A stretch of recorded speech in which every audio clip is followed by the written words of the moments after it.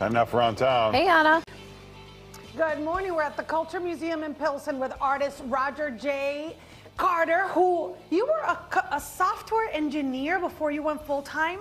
Yes, yeah, a software engineer for 20 plus years. So um, kind of, well, it's, it's not hard to tell I'm kind of a geek, but uh, yeah. So- Why? Is that because you still have toy soldiers around? Because I still play with toys at my age. Uh, But what. I love is the social conscience that you always have in your work and that you haven't forgotten your roots and the causes that are important to the community through your art. So I think it makes it even more accessible that you do figures like Harold Washington, our first African American uh, mayor. And what did you, what are those pieces in that work of art? So that's Harold uh, made of uh, chess pieces. I, I remember that election Yeah. vividly as a, as a child, and I thought it was really smart how he got elected, and it was a grassroots movement, and uh, and so forth. So I, I, that's more of a, an ode to Harold and, and how smart his team was, as well as Harold. And then over here, George Floyd. So that's George Floyd. Uh, it's not Martin Luther, Martin Luther King. Um, so that's kind of made like, you know, my software engineering background. I have Yeah. tons and tons of computer keys.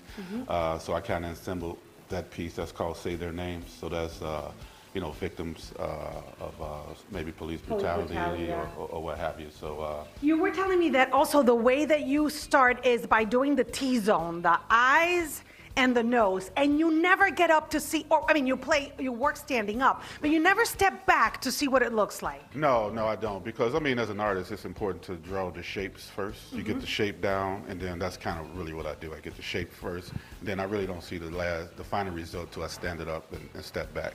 So uh, that, that kind of works out for us. Why is it important for you to also paint the base uh, drawing or painting? Uh, it's more of an underpainting, like Underpainting, that's the word you use. Yeah, like like in, in, in all arts, you got to have like an underpainting. It gives it a little bit more texture, more more depth.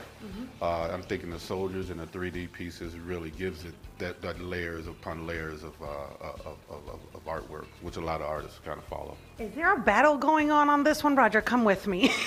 is So this, this when is you a- geek out real big? This is it really when I geek out. So this is like uh, the Black Panther uh, Marvel uh, series.